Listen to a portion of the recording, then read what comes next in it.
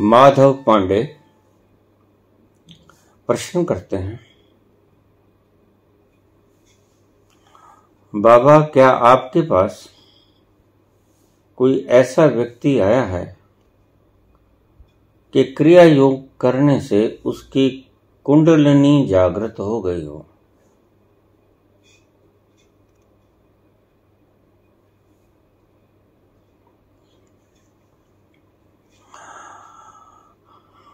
मेरे पास ऐसा कोई व्यक्ति अभी तक नहीं आया, जिसकी कुंडलिनी जागृत हो गई हो पूर्णतया। हाँ ऐसे कमेंट्स और फोन्स मेरे पास आते रहते हैं, जो कुछ चक्रों को पार कर गए हैं।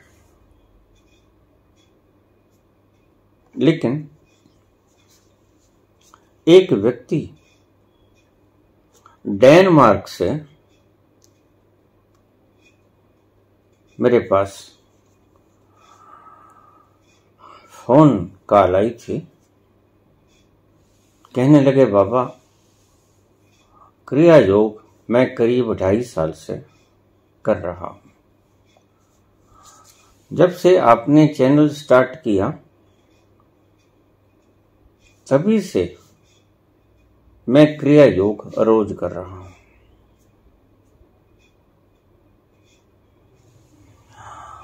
और इससे मेरा तीसरा नेत्र जागृत हो गया है, खुल गया है। जागृत होना और चीज़ होती है, खुल जाना और चीज़ होती है। यह डिफरेंस फिर कभी बताऊँगा। प्रसंग में आज नहीं आएगा।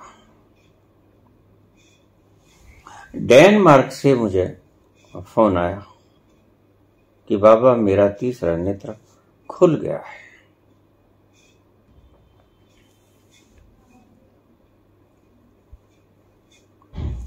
मैंने उससे पूछा कि खुल गया है कि जागृत हो गया है? कहते, नहीं बाबा, खुल गया है। मैंने उससे पूछा कि तुम खुलने का अर्थ जानते हो? कहते, हाँ बाबा। मैं तीसरे नेत्र से दूर दराज की चीज़ें देख सकता हूँ बैठे बैठे और यह हुआ क्रिया योग के कारण। मैंने उससे पूछा, कितना क्रिया योग रोज करते हो? कहता, बाबा, मैं पंद्रह सौ क्रिया योग सुबह करता हूँ और पंद्रह सौ शाम को करता हूँ। हमारे यहाँ हरियाली बहुत होती है। ऑक्सीजनेटेड वातावरण हर जगह पे मिलेगा आपको। प्रदूषण बिल्कुल नहीं है। खैर,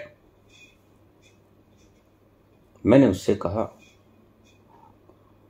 शायद प्रथम दीक्षितों में से वही व्यक्तियों में, करीब बीस पचास दीक्षितों में उसी का नाम होगा सबसे पहले।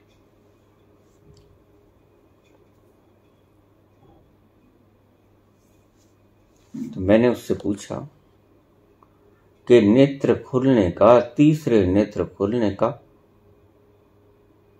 तुम्हें मतलब पता है? वो हंसा, कहते, बाबा मतलब नहीं। मैं दूर से चीज़ें देख सकता हूँ। सैकड़ों हज़ारों मिलों से मैं चीज़ देख सकता हूँ। ठीक मैं संतुष्ट हुआ। मैंने कहा अच्छा ऐसा बताओ कि मैं इस वक्त क्या कर रहा हूँ? कहता, बाबा, दो मिनट का समय दोगे? बिल्कुल।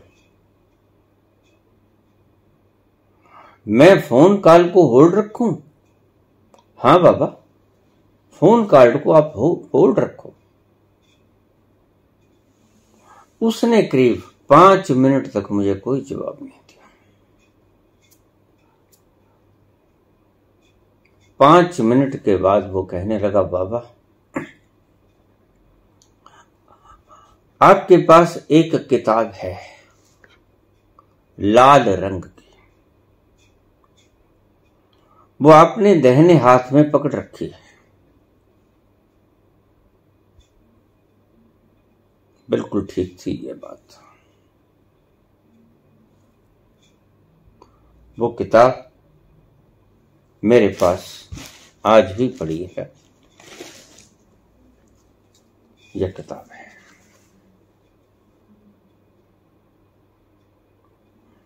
ये किताब मेरे हाथ में थी, दहने हाथ में।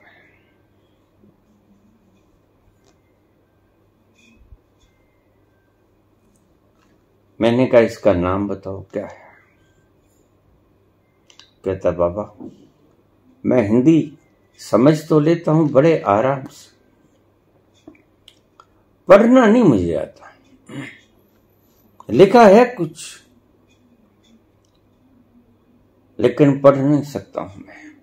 मैं हिंदी जानता नहीं।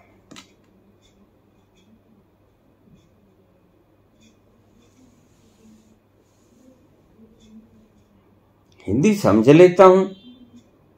गूढ़ से गूढ़ हिंदी भी आप बोलोगे, मुझे समझा जाएगा। वो अष्टवक्र गीता है गीता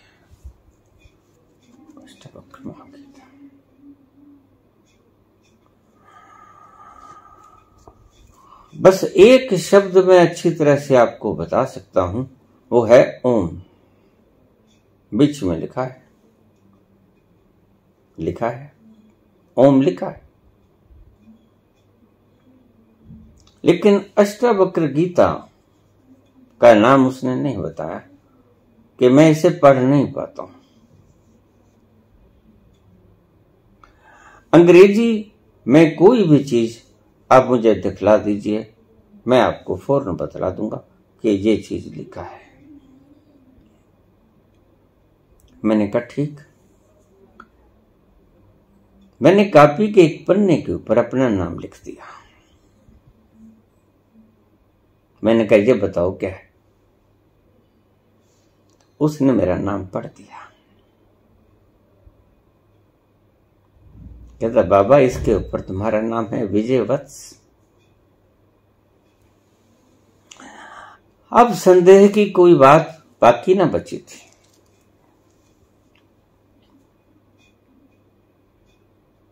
निसंशय हुआ मैं। इसका तीसरा नेत्र खुल गया है।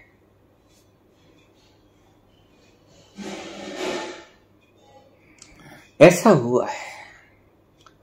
कुंडलनी जागरण का कोई भी आज तक मेरे से संपर्क व्यक्ति नहीं किए है। लेकिन तीसरा नेत्र खुलने का ये ऑथेंटिक घटना मैंने आपके समक्ष आज रखी। कुछ बातें ऐसी होती हैं जो बिना पूछे याद भी नहीं आती, कहीं भी नहीं जाती। ये ऐसी ही बात थी, ये करीब दो महीने पहले की बात है।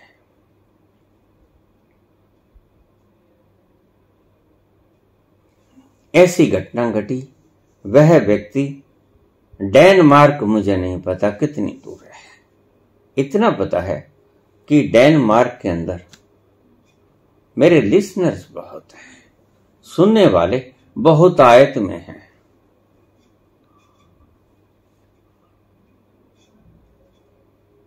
अक्सर प्रश्न आते रहते हैं। काफ़ी संख्या में वहाँ लोग सुनते हैं।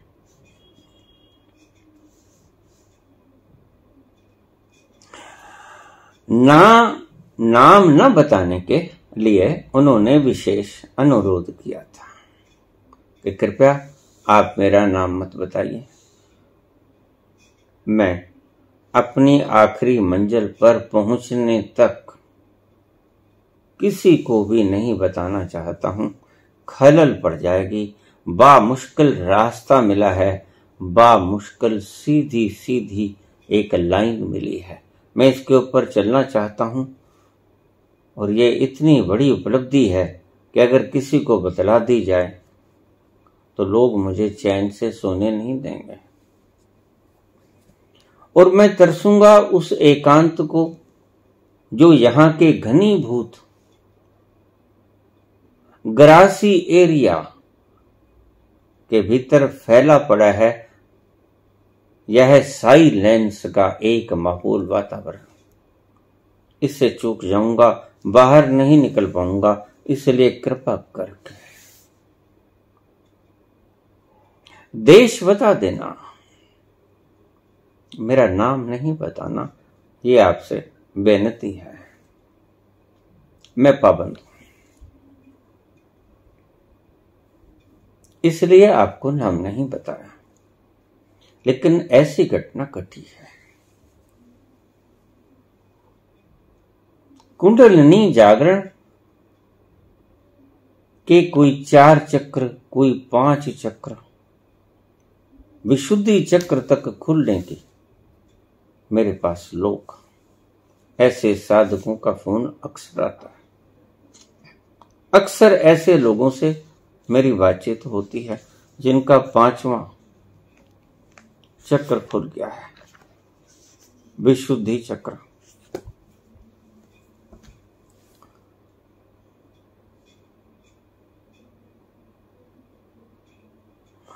कुंडलिनी जागरण होती है, निश्चित। लेकिन उसके लिए वक्त लगेगा। मैंने आपसे पहले भी कहा, दो जगहों पे चोट पड़ती है। भ्रू मध्य में ब्रिकुटी पर या तीसरे नेत्र पर?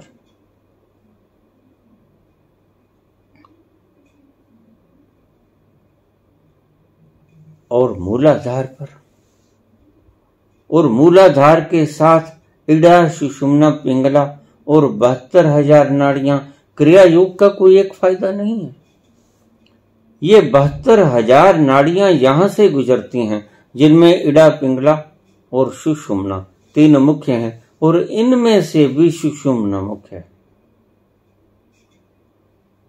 बहत्तर हज़ार नाड़ियों पर यह स्ट्रक होता है हल्का सा। लेकिन अगर कोई व्यक्ति श्वास छोड़ते वक्त कुंडलनी पर चोट ना लगे, धीमे से, हल्के से श्वास छोड़ दे तो उसके कुंडलनी जागरण की संभावनाएँ क्षीण हो जाती हैं, कम हो जाती हैं। और जो व्यक्ति नाक से श्वास गहरी लेता है, उसकी गहरी चोट तीसरे नेत्र पे पड़ती है। कुछ पूर्व जन्म के संस्कार रहे होंगे। उस इस जन्म की प्रगाढ़। मेहनत रही होगी। और कुछ मुँह मुमुक्षा का या कुछ पाने का जज्बा रहा होगा। ये सभी चीज़ों ने मिला के सही रास्ता, सही जज्बा, सही स्थान स्ट्रक करने का, सही मेथड क्रिया योग का ये सब मिलकर इतनी महत घटना को अंजाम दे गई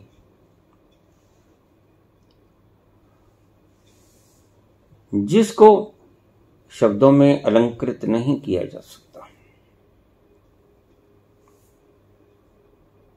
इसलिए मैं आपको बार बार बार बार, वक्त वक्त पर किसी बहाने से बहाने से आपको क्रिया योग का उल्लेख करता ही रहता हूँ।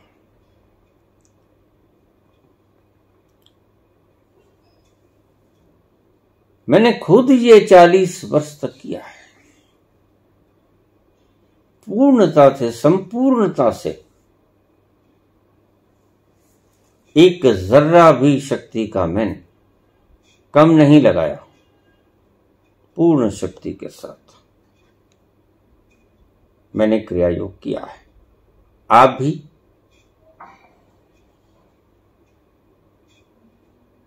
अपनी। संभावनाओं के हिसाब से, अपनी शक्ति के हिसाब से, अपनी कैपेसिटी के हिसाब से क्रिया योग अवश्य करें। सुबह शाम कर सकते हो तो कहना ही क्या है। अन्यथा एक वक्त कोई भी चुन लो, जो आपको फुर्सत के लम्हे मिलते हैं उनमें। वैसे भी आप वक्त गवा देते हो। बहसबाजी में, उलझन में घरों के मतभेदों में, चैट्स में वही आदतें पड़ी हुई हैं।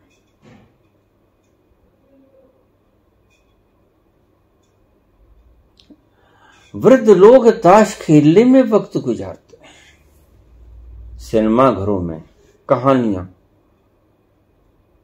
कोई भी कहानी आपकी ज़िंदगी से बेहतर नहीं होगी, आप देख लेना। जो फ़िल्म देख के आए हो, अगर आप अपनी ज़िंदगी की रियल फ़िल्म को देखोगे तो वो फ़िल्म आपको नकली लगने लग जाएगी। आपने जितने संताप सहे, जितने दुख सहे, जितने कष्ट आए, पीड़ाएँ आई, जितने शत्रु आपके जन्मे, जिन्होंने विरोध किया जैसे जैसे आपने मेहनत की इस फ़िल्म के आगे सब दृश्य फीके पड़ जाएँगे। आपकी फ़िल्म का सभी दृश्य सर्वोच्च। और फिर भी फ़िल्म देखने जाते हो। जो नकली कहानियाँ मात्र हैं, दिमाग की उपज हैं, दिमाग की कल्पनाएँ।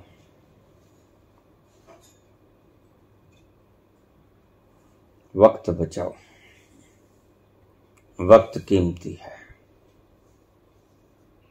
माफ़ किया जा सकता है जब तक कि तुम मैच्योर नहीं होते। लेकिन मैच्योरिटी के बाद, अगर आप इधर उधर फालतू समय को व्यतीत करते हैं, बर्बाद करते हैं तो ये कोई समझदारी नहीं होगी।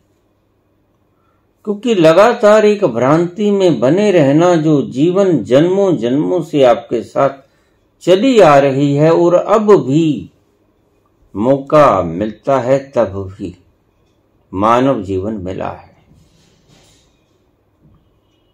पशु संग्रह नहीं कर सकते, पक्षी संग्रह नहीं कर सकते।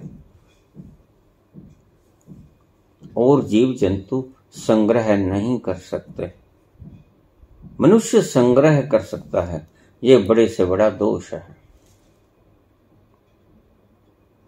संग्रह करने से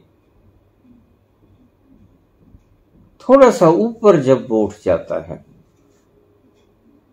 तो फिर वो संग्रह ही उसका दुश्मन बन जाता है। सोच सही है कि कुछ भी आदि व्याधि, संताप, अकाल पड़ सकता है, उसके लिए क्यों न जोड़ लिया जाए। समझ अच्छी है मानव हो। समझ ठीक है लेकिन अगर गोदाम भर लिए जाए, जो कि आप और आपके बच्चे सौ साल भी ना खा पाएँगे, फिर क्या करोगे? ये समझदारी है। इतनी कीमती वक्त की कीमत को चुकाकर। एक खनकते सिक्कों को जोड़ लेना। अपनी ज़िंदगी को दाव पर लगाकर मैं इसे कम से कम समझदारी नहीं समझता।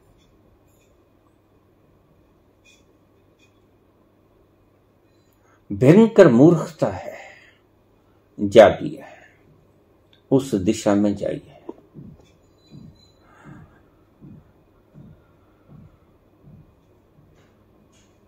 मुझे कुंडलिनी जागरण का आज तक कोई व्यक्ति प्रमाणिक नहीं मिल सका। यद्यपि भ्रम में बहुत से लोग हैं कि मेरी कुंडलिनी जागरण हो गई। भ्रमित लोग तो आते हैं। लेकिन ऑथेंटिक पर्सन नहीं आते। जब मैं उन्हें कसता हूँ तो वो फेल हो जाते हैं। लेकिन यह बच्चा, यह व्यक्ति फेल नहीं हुआ। जब मैंने परीक्षा ली, मैंने उससे पूछा तो वो बिल्कुल खरा उतरा। नाम पढ़ने से जब उसने कहा कि, बाबा, मुझे हिंदी पढ़नी नहीं आती, समझ आ जाती है। बात भी ठीक है। बच्चा है बच्चा पढ़ना नहीं जानता, लेकिन आपसे वार्तालाप कर लेता है। वो पढ़ना नहीं जानता, उसने भाषा नहीं सीखी। लिखने की भाषा नहीं सीखी, बोलने की भाषा आप से सुनकर सीख गया। इसी तरह वह व्यक्ति, हम क्या बोलते हैं, अच्छी तरह से समझता है, पढ़ नहीं सकता। अंग्रेज़ी पढ़ सकता था, बोल भी सकता था। मैंने अंग्रेज़ी के शब्द लिख दिए, उसने बखूबी पढ़ लिए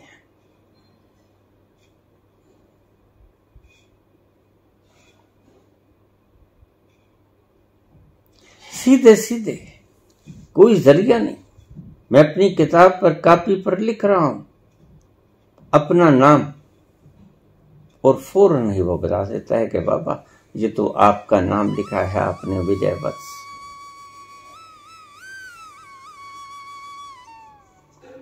ऐसी घटना हुई है।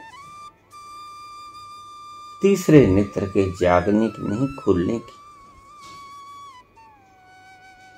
खुल गया है उसका तीसरा नेत्र। ये घटना मेरे सामने आई है। धन्यवाद।